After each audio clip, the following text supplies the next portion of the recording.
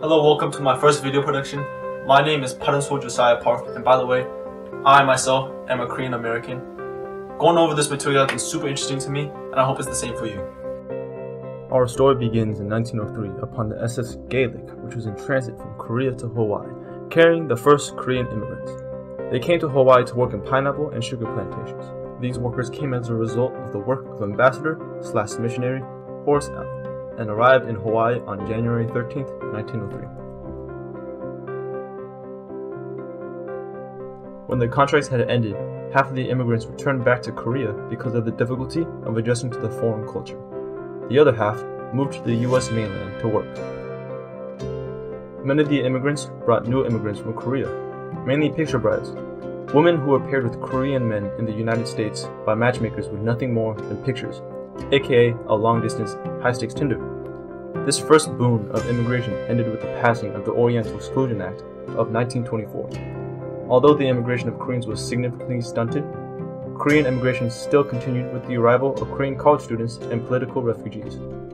During this time, an infamous place that many Koreans were processed was Angel Island. To give you a visual, I actually went there to get some footage.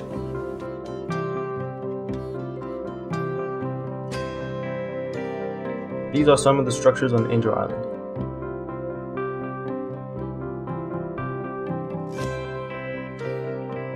This is the immigration center. The immigrants, mostly Chinese and Japanese, but some Korean, would apply for access into the rest of the United States. Until then, they would have to wait for weeks, live in cramped conditions, and be discriminated against. The Asians would have access to an outside recreation area but the European and Russian immigrants would have a larger recreation area, shorter wait times, and better living conditions.